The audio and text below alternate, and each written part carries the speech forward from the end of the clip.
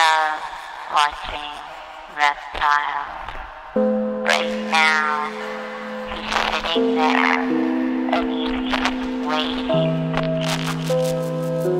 Just waiting to jump on one of the tickets. And he's speaking colors right in front of me. And it's